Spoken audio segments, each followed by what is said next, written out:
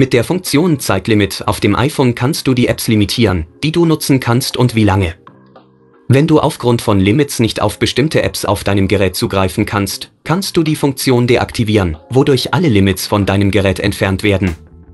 In der folgenden Anleitung wird gezeigt, wie du auf dem iPhone Beschränkungen deaktivierst.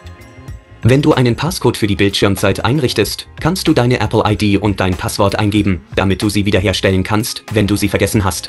Wenn du das eingerichtet hast, ist es einfach, die Zeitlimits zu deaktivieren, wenn du keinen Passcode für die Bildschirmzeit hast.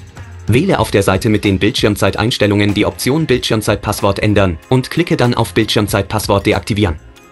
Du musst hier dein altes Passwort für die Bildschirmzeit eingeben. Tippe unten auf Passwort vergessen.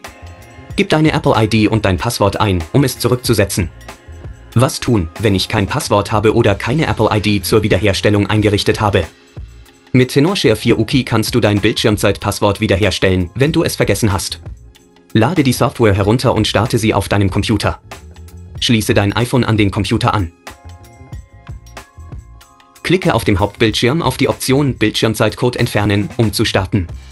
Klicke auf Entfernen starten, um den Passwortentfernungsprozess zu starten. Warte, bis die Software den Passcode von deinem iPhone entfernt hat.